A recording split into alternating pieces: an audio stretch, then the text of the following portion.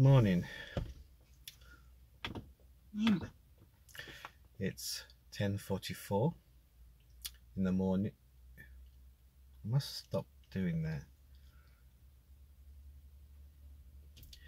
Saying morning and then saying in the morning. Blah, blah, blah. Yeah, quarter to 10, quarter to 11 in the morning and it's a Friday yeah and uh, I had trouble getting up this morning. My brain wasn't we mustn't rely on the brain you see. The brain is just very protective. If it knows you're comfortable it wants you to it won't do anything to jeopardize that relaxation. So what you have to do is you have to just get up without thinking, just automatically. And here I am as a result of it.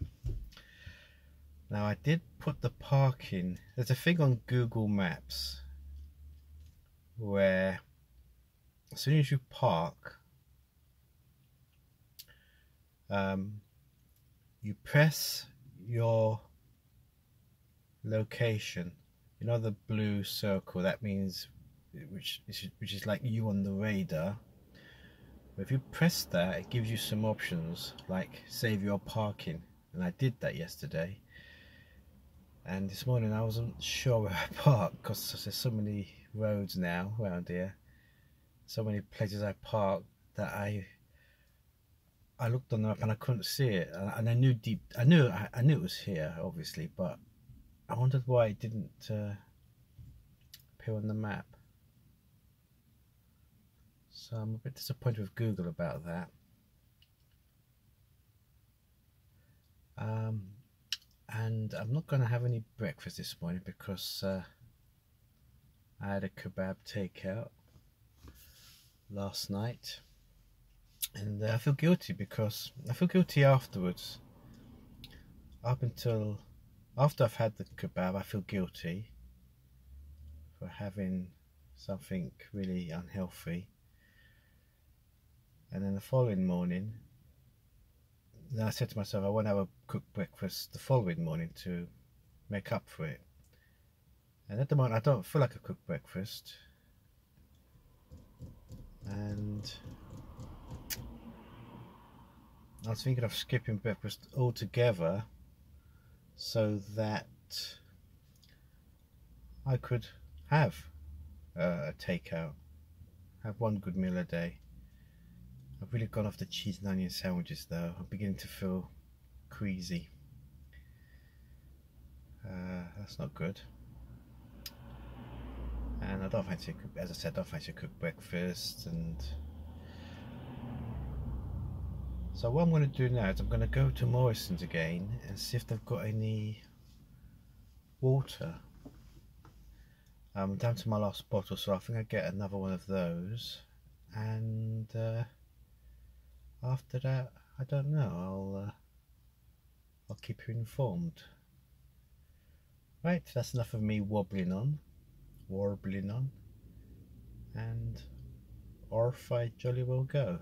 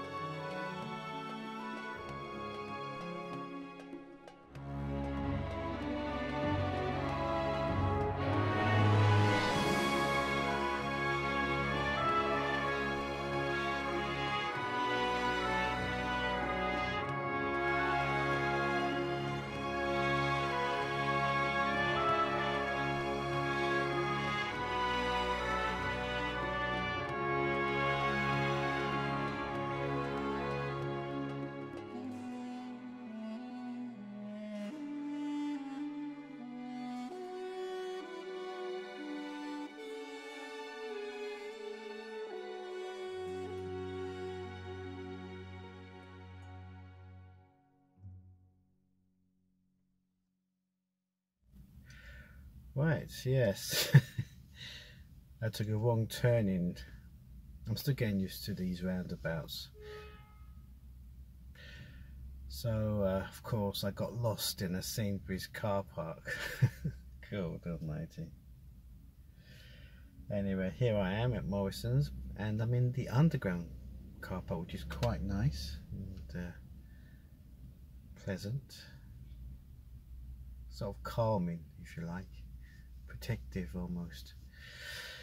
Right, I'm going to pop out now and uh, have a look at the Morrison's you know, I don't know, those big bottles, I don't know if they're one litre, I think they're two litres or five litres maybe, I don't know, two litre bottles that I have in the hotel. See what, uh, if theirs is 70 pence a bottle. And just walk around, see what takes my fancy, and uh, come right back again.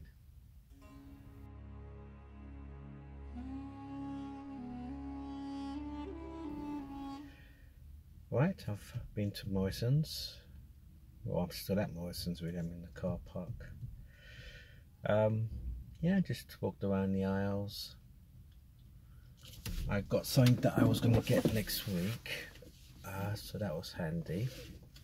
And the bottle of water is the same as Tesco, same size, same price. So I got one. Um, and here I am really. I was gonna get I was I nearly got a sandwich a cheddar only sandwich or cheese and tomato sandwich or cheese and pickle sandwich and I thought no I'm not gonna have breakfast. That way I can have I can go out later um, I don't know if I'll have another takeout because I had a takeout yesterday. I don't want to have don't want to get into a well not a habit but I don't want to uh, get a takeout if I had one yesterday. So I might make the effort to go for a walk somewhere. Uh, a lot of burger joints in town and I have to start thinking about ticking them off one by one. Yeah but not now now I'm going to just drive along the coast and then head back to the hotel and edit yesterday's video and then have a siesta. I seem to be having a lot of siestas this week. And then when I'm peckish I'll pop out and have a said meal. There is no said meal but I haven't decided what meal I'm going to get, but it will be uh, pop out and get meal. That's the beauty of of it's the unknown is what to have. I just said burgers, so probably might pop into a burger joint, but I don't know. They're too uh, too uh, luxurious, so I might get a McDonald's. There's no Burger King, I don't think. There's a, I think McDonald's uh, or is it KFC doing a line on nasty burgers. So I see whoever does that and get one of those. A bit pricey, but it looks tempting. There's only one thing to do when you're tempted, that's to uh, give into it. right, enough waffling on again as usual. Um, it's time to go.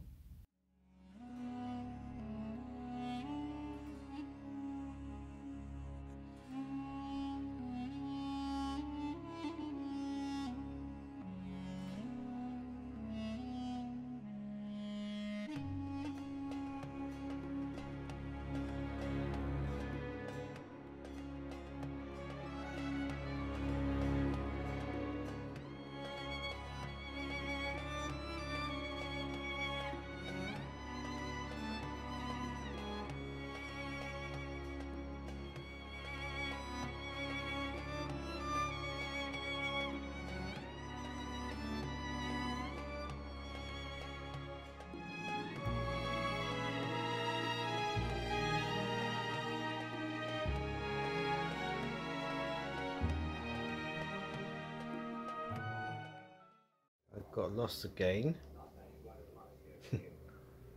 but yes, and I managed to get a parking space quite easily. And it's not that far.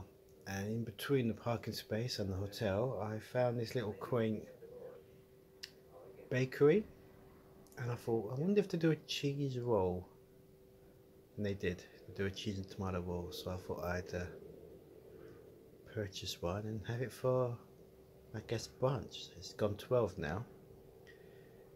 So that's what I'm having now with the leftovers of the Pringles sour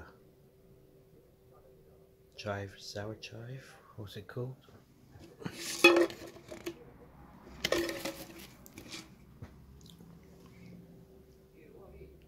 the sour cream uh, Fiesta crisps.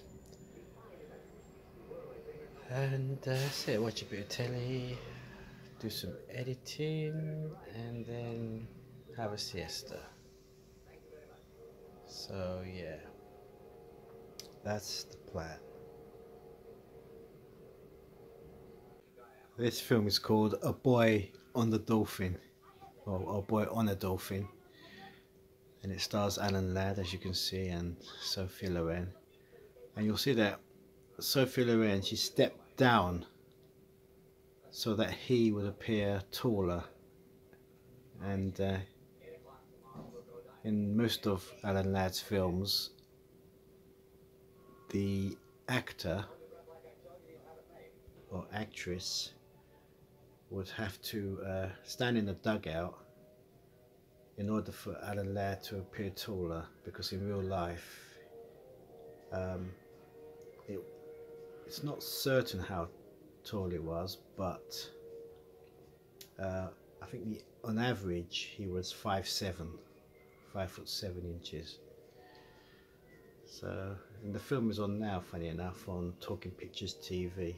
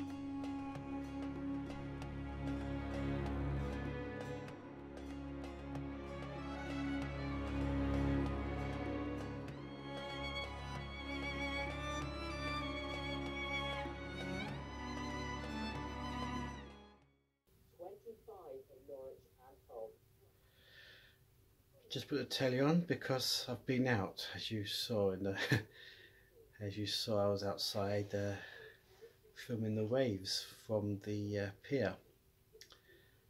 And uh, the reason why I popped out was because the cleaner arrived about 22 2 and the time now is probably half past three. I'm not sure. Let me have a look oh half past two. So yeah. 20 to 2 and it's half past 2 now. Right I'm going to uh, make a cup of coffee and freshen up. And I suppose start on the edit before I have a siesta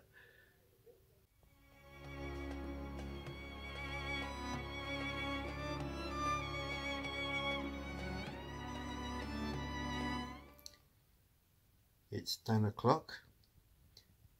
And I've just commenced export of yesterday's video.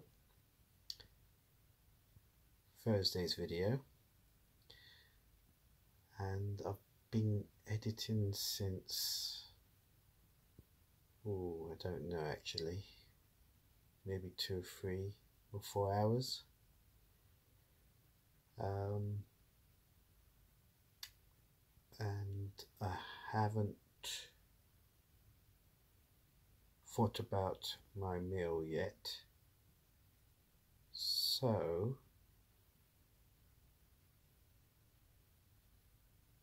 I'm going to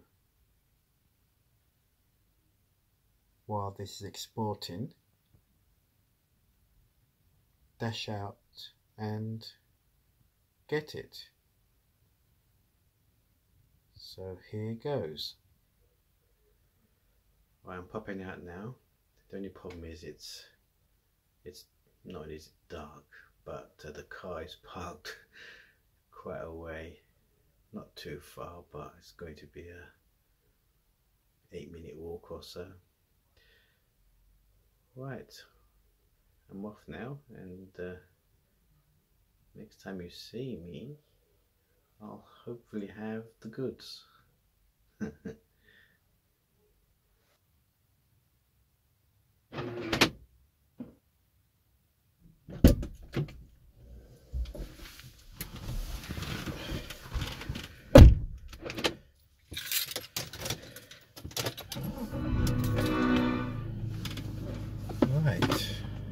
darkness again. Yep, that was quite a walk, but uh, never mind. It's a Friday as well, so the chances of me finding a parking space and at night time in the dark will be interesting. Still, nothing ventured, nothing gained. I'm off now to get the mill. It's uh, shrouded in secrecy at the moment, isn't it? Hopefully it will all be revealed. Right. Lights. Camera. Action.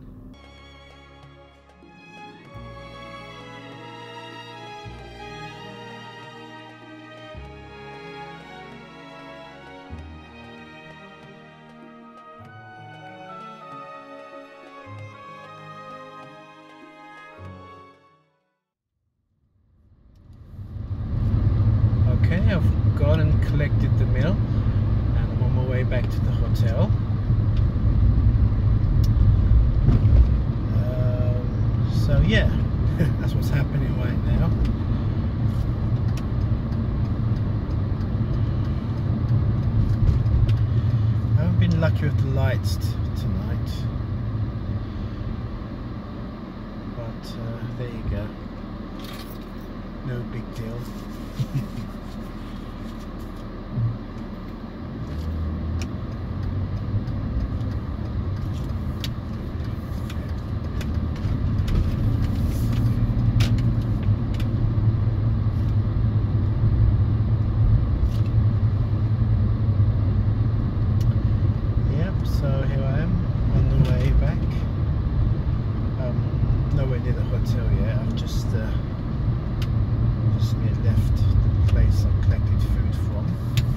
still a cloak of mystery.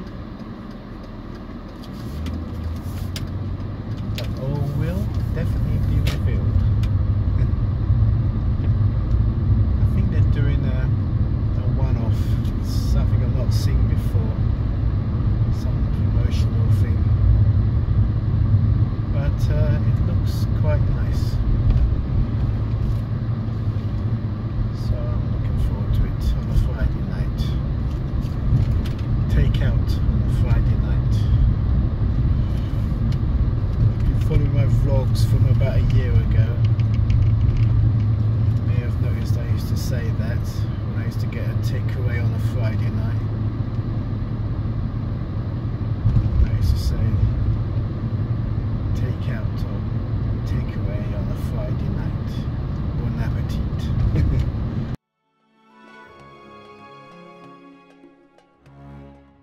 while I was out, I I left the laptop exporting and uh, left the telly on and a light on just so people outside think I'm in, you know.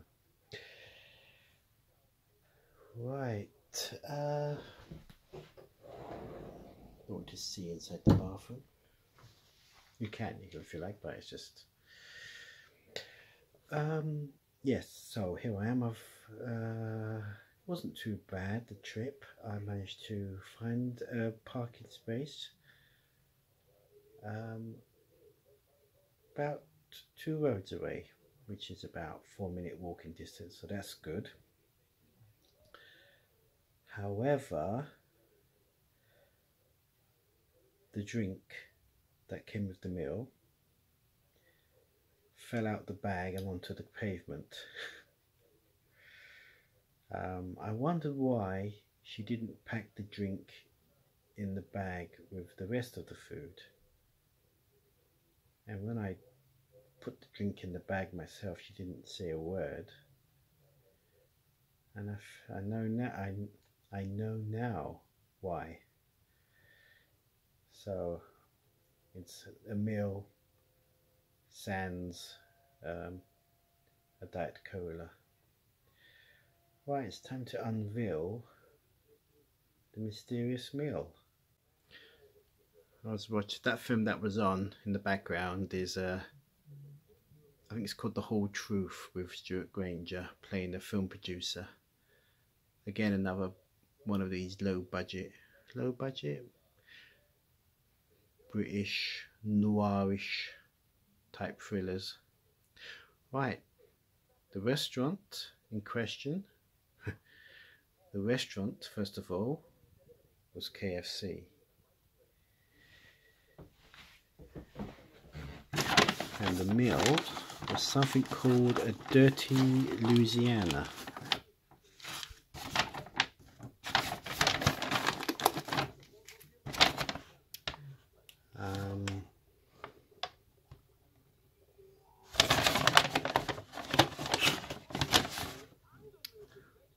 I'll do a further reveal shortly.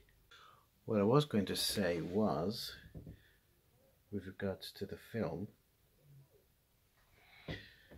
is that uh, there was a time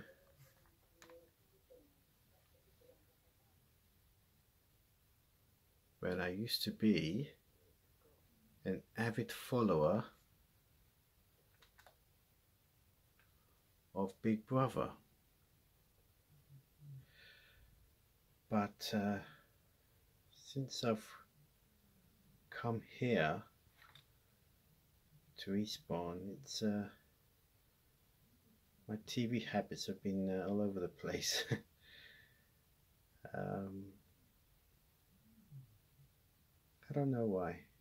I suppose Big Brother has come to an end anyway. There, there won't be any more series on on English tele on British television. This is the final series, and I'm not surprised it hasn't really gripped me this this this year. Um, don't know what I'm uh, waffling on about. I'm going to show you now the actual contents of the mill. And this is the mill. First of all, the sides.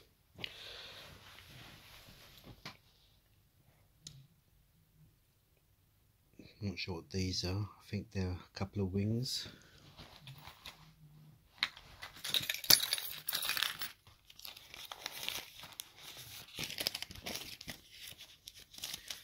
Um, I'll tell you for sure.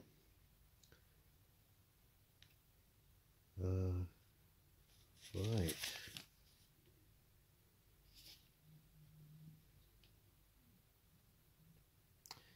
Hmm, not sure actually what this is.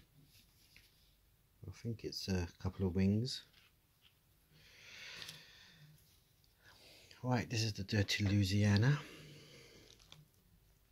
It's uh, it looks like a king, uh, not king size, a Big Mac. So I just I got some sauce on my fingers just now and I, I licked it thinking it was mayonnaise, but it's quite uh, quite hot in terms of chili, chilliness. So this is the Dirty Louisiana. I saw it advertised on the bus stop yesterday and it sort of gave me the idea for tonight's meal. Right, I'll have a taste of this and uh, if I remember to, I'll report back.